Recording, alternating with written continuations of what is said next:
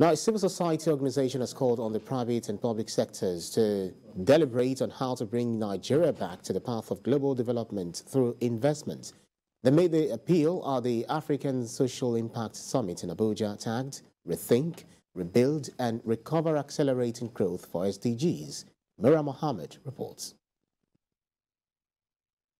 It's now five years into Sustainable Development Goals designed by the UNDP to end poverty, hunger, AIDS and discrimination against women.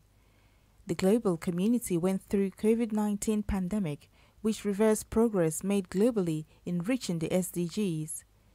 This was more evident in Nigeria, where few people who were able to pull out of poverty before the pandemic regressing back into poverty.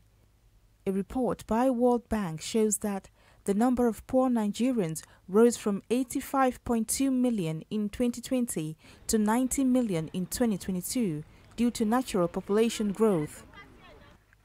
It is why these civil society organizations have come together to address this issue by seeking international partnerships with various stakeholders within the African development sector. At the summit, leaders of various organizations, stakeholders all agree that there is an urgent need for partnerships on investment to provide solutions that will focus not only on profit but also on impact. They also urge private and public sectors to do all they can to get back on track so Nigeria can meet up with the Sustainable Development Goals by 2030. When it comes to the subject of ending poverty, it's something that everybody's hand must be on deck. There are some people that are actually really, really helpless in this situation. There's not much they can do, which is why we're having conversations like this for us to scale solution. Always about looking at how we can invest in things.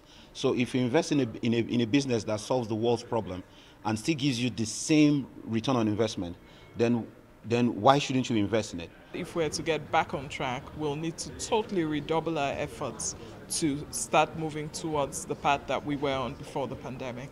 The famous saying, don't give people fish, teach them how to fish.